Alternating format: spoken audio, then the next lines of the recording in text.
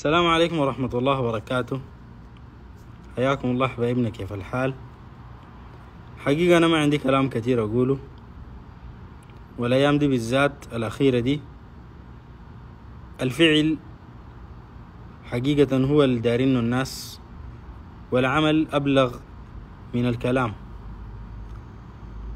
والسيف أصدق أنباء من الكتب في حده الحد بين الجد واللعب. وأي واحد مد يده على مواطن مد يده على مواطنة مد يده على مسكين اتسبب في أنه مواطنة تنتر تتهجر. وكثير منها الآن هايمة هايمة في بعض القرى وما عارفين ماشيين وين مارقين بس من بطش وكيد المرتزقة. أي واحد مد يده على الناس دي حنيتحاسب والله حتتحاسب وما تظن أنه يد الانتقام أصلا ما بعيدة منك والأيام توريك إن شاء الله. وفي ناس معينين إذا اتخذتوا في قائمة الرصد والمتابعة والتقم والتعمد والتتبع والله حتشوفوا غضب وحتشوفوا عقاب وحتشوفوا ألم أضعاف الألم اللي وريته للمواطن المسكين. والمدعو عمر شارون أنا ما بهددك والله لكن الأيام توريك. وما انت براك بفضل الله جل وعلا كل القوة الموجودة في مناطق الكاملين وما حولها كاب الجداد أزرق السريحة كل القرى الموجودة القوة كلها الموجودة هناك كلها اترصدت بالأسماء. وأنا ما بقول لك أكتر من ده. والأيام بيناتنا. وعلى كل حال أنا ما دار أطول في الموضوع ده وأفصل أكتر لأنه أي حاجة بوقتها. لكن خالص التعازي لأهلنا في كل قرى الجزيرة وكل قرى النيل الأبيض. وأنا لو طلعت في المقطع ده طالع لي رسالتين فقط. الرسالة الأولى دار أوصي كل الأهل والقرى المحيطة بالمناطق اللي حصلت فيها الانتهاكات دي. أطلعوا وفتشوا الخلا وفتشوا المناطق المحيطة بكم. كثير من المواطنين كثير من الأمهات كثير من الأخوات طلعوا ساي من غير ما يكونوا عارفين الاتجاه ده يدي على وين. فبالله عليكم اطلعوا فتشوا أي مواطن لقيتوه هايم بوشه طفل مرة بيت شيلوها ورجعوها. ونحن بإذن الله جل وعلا بنقدر عليه التكاية تعملوها. الوجبات التوزعوها نقدر عليه ونساهم معاكم إن شاء الله. لكن بالله عليكم أطلعوا أطلعوا فتشوا والله كثير من الرسائل تجينا أنه في ناس طلعوا من قرية فلان ومن قرية فلان من غير ما يكونوا عارفين الشارع ده يودوا عليهم بس مرقوا من بطش المرتزقة. ونحن والله الآلام اللي شفناها دي كثير من الانتصارات كثير من السيطرة ما قدرنا نقولها للناس ذاته. يمكن كلكم تكونوا تابعتوا تقدم قواتنا المسلحة في شرق مدني ووصلت مناطق قريبة جدا والليلة الأذان اترفع في قرية الحريز وما والقوات المسلحة تقدمت لما بعدها. سواء كان مناطق معلنة أو غير معلنة.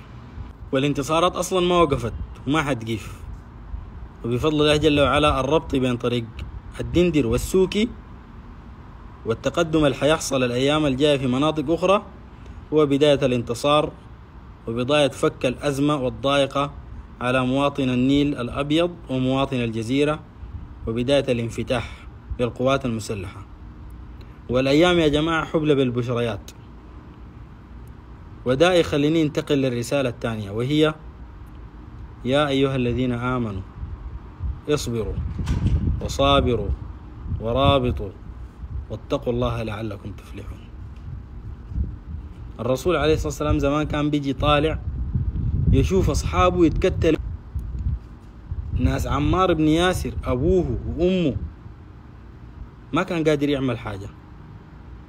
إياك تظن أن القوات المسلحة قادرة تخش المناطق اللي فيها انتهاكات دي بمشاة وما دايرة تخش. والله نحن بنعرف عدد من الضباط يبكوا يبكوا ألم وحزن على الحاصل. وإنت ممكن تكون بتعرف كثير من الضباط استشهدوا بسبب أنهم دارين يمشوا بس يمشوا للمواطن. الجيش بيقول لهم اصبروا الخطة دي تتسبب في هلاك. انسحبوا من عمل خطة وبنخش تاني يقولوا لا ويموتوا. القوات المسلحة والله لو عليها الليلة تنظف كل السودان. لكن ربنا سبحانه وتعالى يفعل ما يشاء ويختار. الرسول صلى الله عليه وسلم كان يشوف عمار بن ياسر وأسرته كلهم أمه وأبوه يتعذبوا. يقول لهم صبرا آل ياسر ما قادر أعمل لكم حاجة. صبرا آل ياسر. لكن جزاكم شنو؟ صبركم ده حيروح ساي. يعني ناس السريحة وأزرق وغيرها من القرى. المات أبوك مات أخوك صبرك حيروح ساي. حقك حيروح ساي. فإن موعدكم الجنة. الدنيا دي أصلا ما بتمشي ساي. والأيام دول. وكما تدين تدان. كما تدين تدان. ما في حاجة بتمشي زي تلك الأيام نداولها بين الناس. فيا أهلنا في كل القرى. أصبروا وصابروا. والله العظيم القوات المسلحة تبذل الغالي والنفيس عشان تصلكم وتنظف مناطقكم. وكلها بإذن الله جل ما دارين نقول ساعات لكن إن شاء الله كلها أيام كلها أيام بإذن الله جل وعلا. وتسمع بشارات تفتح النفس وتسر البال وتجبر الخاطر. الصبر مفتاح الفرج. وما ضاقت إلا لتفرج. إن شاء الله حني. ومن كل يد اتمدت على المواطنين. ما تظن أنه في واحد هيهرب من العدالة ولا من القصاص؟ مهما تمشي. وأنا الآن الآن بقول لأي ناس أي ناس القوات المسلحة سيطرت على مناطقها فتشوا القرى اللي كانت تنتهك أعراض الناس وتهاجم الناس والمدعوين اللي كانوا معاهم فتشوهم كلهم يستلموهم. أنتم كمواطنين يستلموهم وسلموهم للقوات المسلحة تقتص منهم. أو نسقوا مع القوات المسلحة وكونوا لجان شعبية مخولة بالتحري. يكون فيها ناس مستشارين قانونيين ناس أمناء ناس موظفين حكماء.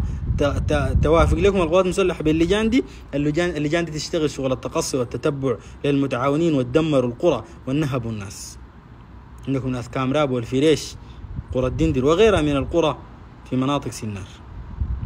أبشروا بالخير. والنصر قريب إن شاء الله.